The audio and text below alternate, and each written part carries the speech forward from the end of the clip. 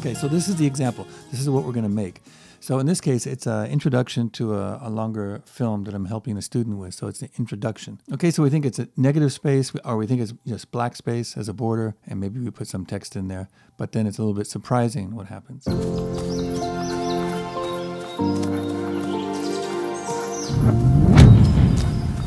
Why do I run? All right, so we're going to learn how to do that. And, and by the way, you can do the opposite of that, where you could start, for example, this way, and then pull out to reveal the whole scene. We could do it that way as well. But anyway, let's learn how to do it in CapCut. So we've opened up CapCut Desktop and we've already added the video. So that's the first thing. And next thing we do is add default text, which is fine. And we're going to change the typeface put run. Let's change the typeface, make it extra bold, and then increase the font size. And when you increase the font size, sometimes the letter spacing can be a little tighter, something like that, and maybe even a little bigger. Okay, and we can bring it down just a little bit. Okay, something like that. This is going to be the text that we export out, and it's going to become a video. So before we do that, we turn off eyeball here on the video, and you'll see that we're dealing with black and white, and the white part is going to be transparent. The black part will remain black when we do uh, multiply later but there's no animation on this. Let's say we want to end here at normal size. So that's where we want to end. We want it to look like this. So in that case, we go down here to scale and we're happy with that at 100%. That's what it's going to look like.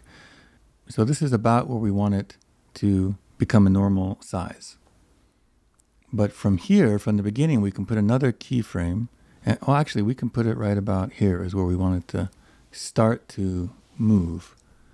So we put that keyframe there. That's where it's going to start to move. Anything to the left of this is going to be the full size, which we're going to scale it up right now. So it's okay to click that and now scale it.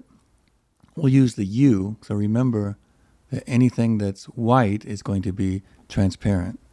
So we should turn this back on if you want to be able to see. Okay, we'll make this a little bit larger, about 700 in our case. There we go. So right about here, yeah, this is the left part of the letter U. Remember, the white part is going to be all transparent. So this looks good. And this will remain this way right at the beginning. It's going to stay like this. We get to the first keyframe. It's going to start to get smaller. And then later you can add this sound effect. Boom, as we did, right?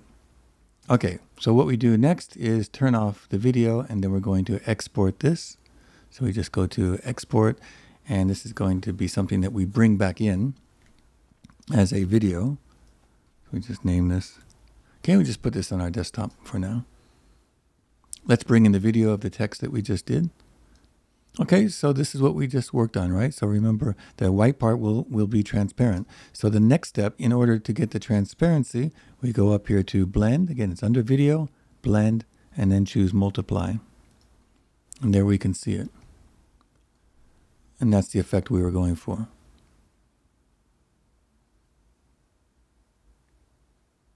And if that's too slow for you, you can increase the speed. Now that this is a video, it's not text now. So go up to speed.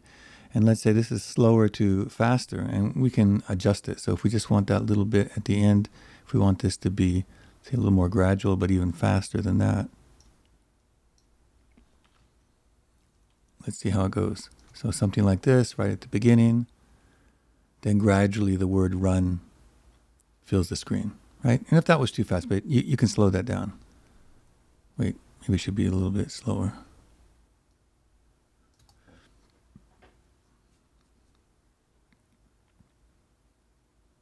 Okay, you get the idea. And by the way, you can reverse this too. So let's take another one. Let's say you wanted it to do the opposite way. Then just control and then go to edit and you can reverse this. And it takes just a few seconds for this.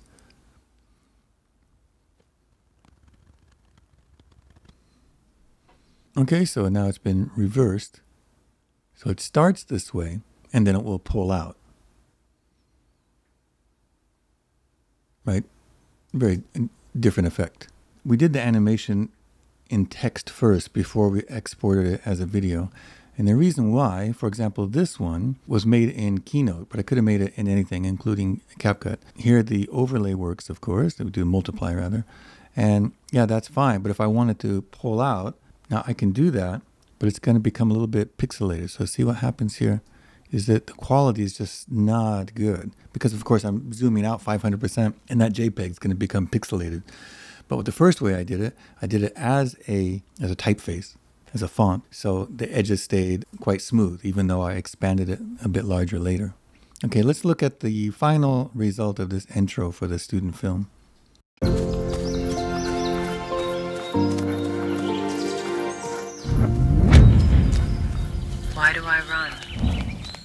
Well, let me tell you my story.